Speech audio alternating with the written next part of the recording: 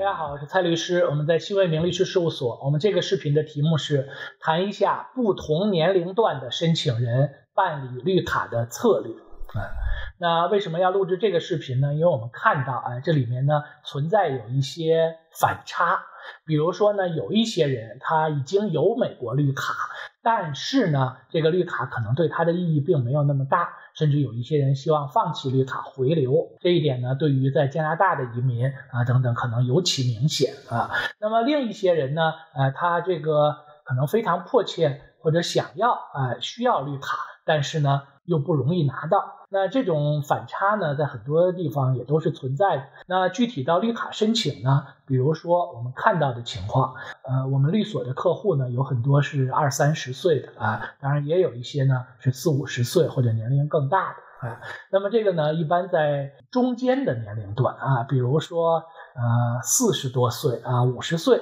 这些人呢，呃，他们很有可能呢。拿到绿卡，但是对他们来说呢，有的时候相对的成本收益并不一定有利，因为他要在中国的退休还有相当的一段时间。那如果这个时候呢，呃，放弃在中国的积累人脉，啊，到这个美国重新开始，可能又不容易找到和此前能够相当的啊这样的事业机会。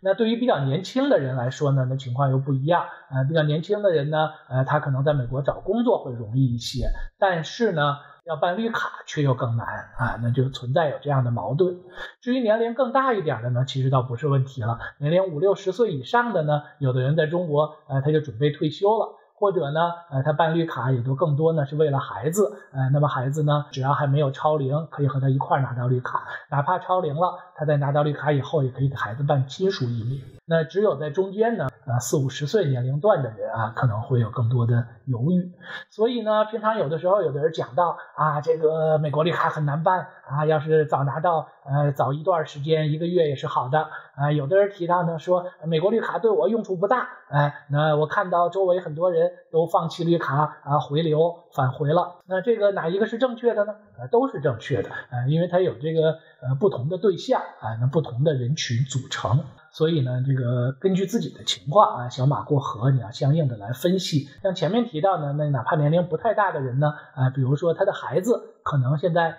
十岁、十五岁啊，或者在中间这样的年龄段，那他们呢，呃，办理绿卡呢，也可以为了这个孩子啊这个角度，哪怕他本人拿到绿卡以后，比如说再继续在中国工作一段时间，那么怎么保持绿卡呢？啊，他可以办理一个回美证 （Reentry Permit）。啊，这样呢，我们看到有我们很多客户，像这样他呃人平常不在美国啊，但是呢，只要办理了 Reentry Permit，在美国境外两年、三年、四年啊都可以不受影响。哎，那他的孩子呢，呃和父母一起已经取得的绿卡啊也不受影响，可以在美国继续上学、工作。那么哪怕父母将来啊这个没能保持绿卡，孩子拿到绿卡超过五年以后，还可以加入美国籍。然后呢，作为成年美国公民给父母办绿卡，可以不受名额限制的影响，没有排期等待的因素啊。所以呢，总体来说吧，我们看到的情况啊，在这个尤其很多中文的媒体自媒体上